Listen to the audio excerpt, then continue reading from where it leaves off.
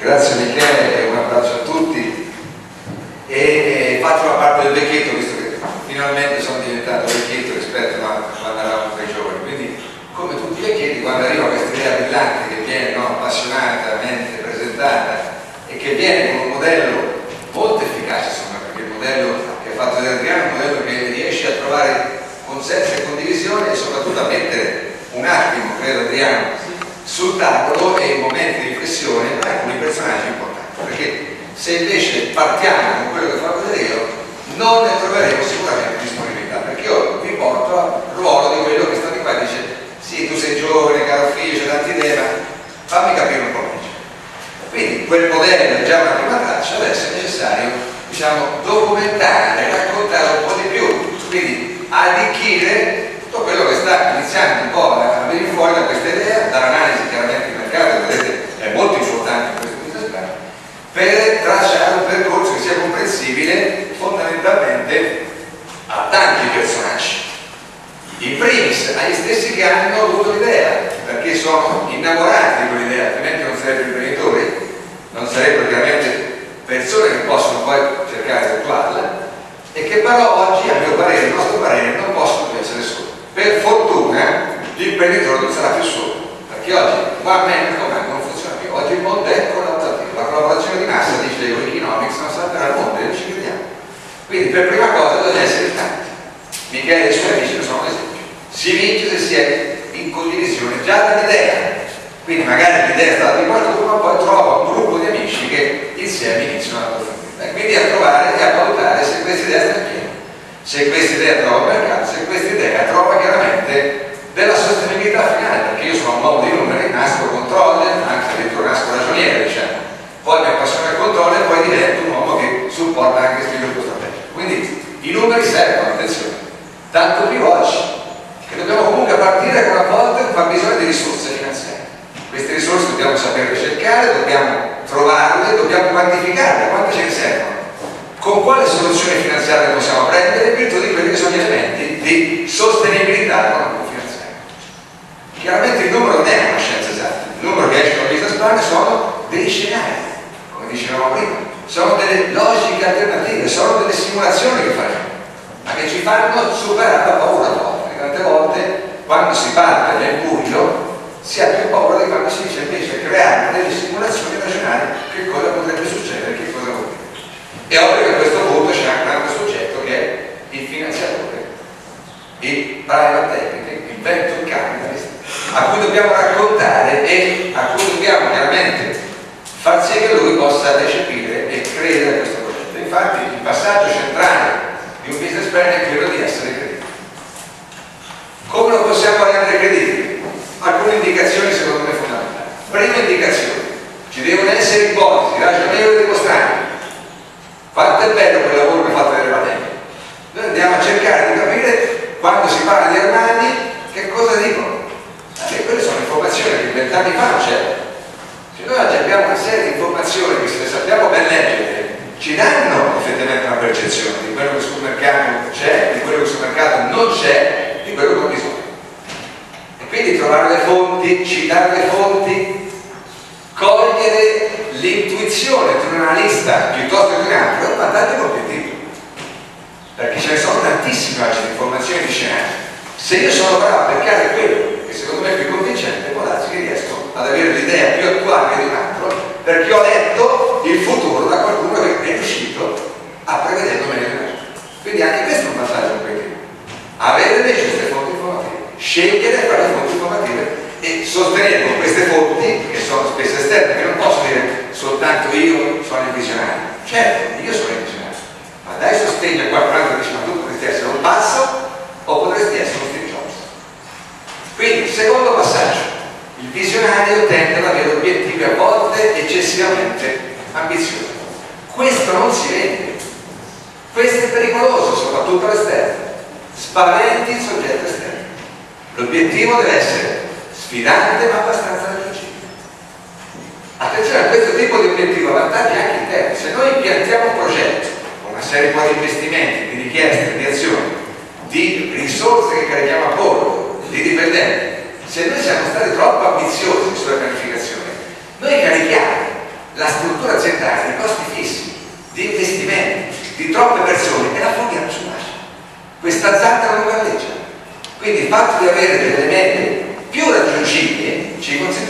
semmai di scalare eventuali volontari. Quindi partiamo con un obiettivo certo ambizioso, certo basato sulla visione, ma che sia, secondo noi, più raggiungibile. Teniamoci nel cassetto eventuali obiettivi eccellenza, anche perché l'esterno si spaventa poco. Quando cioè Facebook presentato con i risultati che ha avuto oggi, sicuramente nessuno ci credeva. Presentato con una proiezione molto più limitata, forse era più sostenibile da analisti esterni e anche da quelli che vengono con un report. Terzo elemento, fattori di successo. Dimostrare che da quella fonte informativa estratto la mia proposta di valore, la mia value proposition, che il modello di business chiaramente la tira fuori, quindi estrarre e raccontare su business plan. E il business plan quindi deve essere un racconto, un romanzo, deve narrare. Quindi per narrare vuol dire descrivere. Ci deve essere del tempo da dedicare a questa lettura. È ovvio che vedete, c'è bisogno di una sintesi di una lettura che appassiona il lettore, ma al tempo stesso io me lo porto a casa, me lo prendo, io che sono il socio, io che sono un analista, io che sono il dipendente che voglio attrarre, perché oggi dobbiamo anche attrarre i talenti, che ne sono pochi e che fuggono, e i talenti si attraggono se noi ovviamente abbiamo un business plan chiaro che dimostra che ce la possiamo fare. E allora che ce la possiamo fare secondo noi di Live? Live nasce proprio su questa metafora dell'acqua. Live, grazie alla nostra amica Serena Chiuti, si è appassionata degli indagini, di quelli che sono i veri elementi su cui si sviluppa l'impresa. Le vere leve del valore che vengono fuori da questa analisi, da questo modello, sul campo ci sono le risorse chiare, le attività chiare. Michele parlava di connessioni, relazioni, capitale relazionale. Conta più questo che altri elementi. Capitale umano e capitale preventivo. Su questo dobbiamo dimostrare che stiamo facendo sviluppo e che il progetto di impresa va a differenziarsi dagli altri. E vedrete che dalle radici l'anima per fare il suo frutto. Perché poi il business plan deve cercare di dimostrare a noi soci e ai nostri partner che i frutti vengono fuori. A questo punto è chiaro che il business plan che cosa fa? Fondamentalmente deve descrivere, quindi raccontare tutto il passaggio complesso che va dall'idea dall'analisi strategica, dal modello di business. E quindi utilizza strumenti di descrizione ma anche strumenti grafici di modelli tradizionali e innovativi. Ovviamente qui troverete modelli di porto, troverete modelli di posizionamento, troverete modelli di channel gruppi, possono essere tutti ben spiegati. E poi la parte finale è quella che cerca di vedere se questo modello sta in piedi. Sta in piedi può voler dire, se io sono un soggetto che è interessato al quadro del benessere, che è in equilibrio economico, attenzione, non pensiamo a modelli di alta profittabilità, mica siamo imprenditori questi. L'importante è sul canvas, chiaramente questo aspetto invece è in secondo piano, qui invece va, va evidenziato, è che sia sostenibile finanziariamente, che ci siano le giuste risorse, che non andiamo in crisi finanziaria, perché sennò qualsiasi modello economico vincente, se va in crisi finanziaria sa. Qui dobbiamo costruirlo sulla roccia, per costruirlo vuol dire partire con i giusti elementi di capitale sociale, di capitale di rischio. Andiamo a prendere il capitale di rischio necessario per sopportare il problema. Questo è il nostro vero elemento importante. Andiamolo a cercare. E allora come si presenta il business plan? Questo documento che è lungo, è complesso e che richiede qualche settimana di stesura, perché a livello di stesura, di, di costruzione, poi dipende dai tempi di velocità che abbiamo. Intanto una sintesi che racchiude tutti i messaggi e che consente a un lettore sfogliato, tipicamente lettore, di appassionarsi a quello che invece poi è scritto in tante, tante pagine successive. Quindi le 5-10 paginette massimo di sintesi di tutto il processo. Poi invece si va nel dettaglio. Il dettaglio vuol dire fondamentalmente perdere molto tempo a queste elementi. Lo stiamo presentando a qualcuno che non sa niente di quello che abbiamo in testa. Perché non fuori queste idee? A chi diamo risposta? C'è un cliente che percepisce questo, c'è un cliente che forse non percepisce ma che ha bisogno di soddisfare i desideri. La nostra vera ragione d'essere, che poi tira e crea il collante, eh? cioè si è visto che il vero collante di sviluppo dell'impresa che porta a bordo i nostri amici, che sono i soci, che sono i colleghi, che sono i dipendenti, è la vera mission. E quindi bisogna chiarirla. Bisogna anche dire che valore abbiamo. Siamo persone speculatori, sfruttiamo il cliente, siamo persone che rispettano il bene comune, etiche, socialmente responsabili. Sono valori importanti per attrarre oggi risorse finanziarie giuste e talenti. E chiaramente la nostra visione è traguardo la stella sul quel piano. Quindi questi sono concetti che vanno ben descritti chiaramente. Poi tutta la parte di racconto degli elementi canvas che sono l'analisi di mercato che dobbiamo sintetizzare. La proposta di valore rendiamo chiara e soprattutto facciamo capire le competenze che abbiamo, il capitale intangibile, che realmente abbiamo, chi siamo intanto, i fondatori e promotori, chi ci portiamo a pronto, che relazioni abbiamo e pensiamo di attivare, che modelli organizzativi ci abbiamo.